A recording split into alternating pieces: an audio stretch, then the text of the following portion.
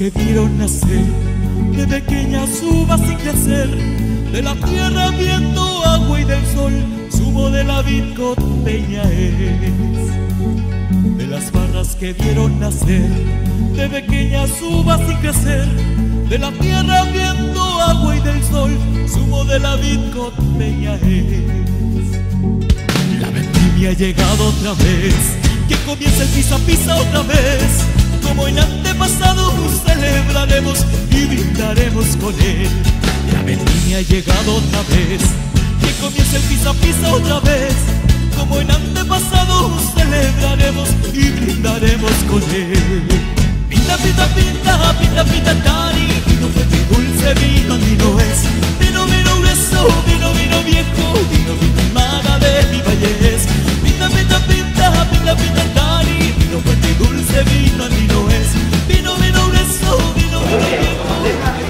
Una vez más nos damos cita en la época de la vendimia y el señor Bruno y su familia aquí en el restaurante Sulmare nos encontramos para celebrar el Día de la Vendimia y esta es la primera prensada que es el vino mosto. El señor Bruno nos habla de ello y ha invitado a sus amigos y a la prensa a disfrutar de este día. Buenos días, señor Bruno, ¿cómo está usted? Buenos días, buenos días, muy bien. ¿Cuántos años ya se viene celebrando en su casa aquí en Bruno eh, el Día de la Vendimia con el mosto, la primera prensada? Sí, este es como el quinto año, quinto año que hacemos la fiesta de la vendimia. Eh, quiere decir que con estos días queremos saludar el otoño que entra, eh, así aprovechamos de exponer los productos.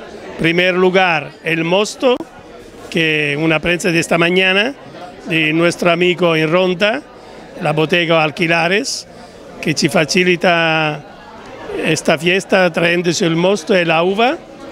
Eh, con esta fiesta queremos decir gracias a nuestro amigo y nuestro cliente de Marbella que siempre nos han apoyado.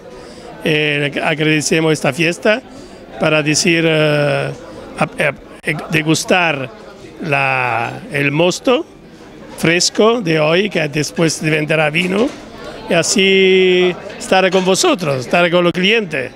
Y eso. Acompañado con gastronomía también típica. Eh, hemos visto unas morcillas muy buenas y unos aperitivos buenísimos también para acompañar este mosto. Sí, primero queremos decir que a partir del otoño tenemos más comida de cuchara, típico aquí de España como lentejas, garbanzo y algo más. Para ahora que viene el invierno, otoño e invierno, necesitamos cambiar un poquito la comida.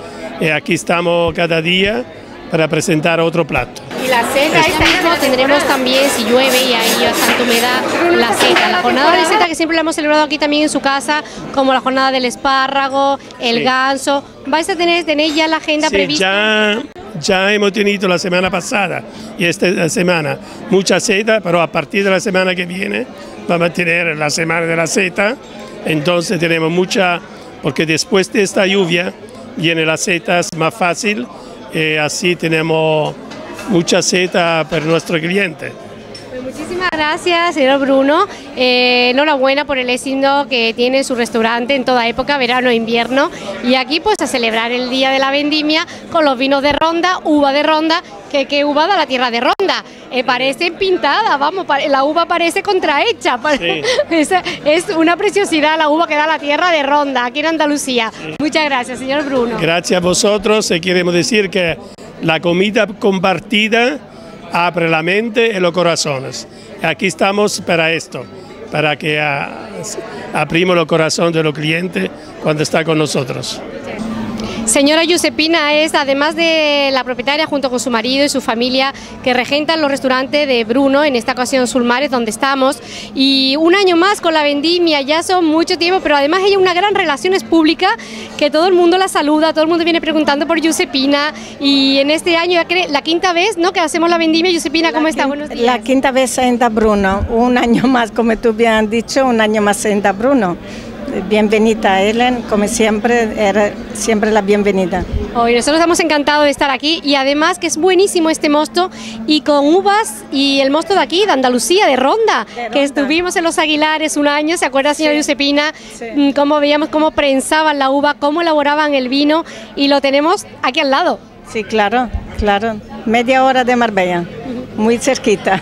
Giuseppina, ya por último, eh, ¿cómo se hace para que todo el mundo la quiera, que todo el mundo eh, la tome como ejemplo eh, en el trabajo, en la amistad? ¿Cómo se consigue? Con humildad, cariño, hay que darle cariño a la gente porque nosotros vendemos comida, pero también vendemos cariño. Hay que darle mucho cariño a la gente porque hay muchos restaurantes de Marbella y nosotros le damos un trato más. Muchísimas gracias, que la veo fenomenal, Giuseppina. Sí. Gracias. Gracias a ti.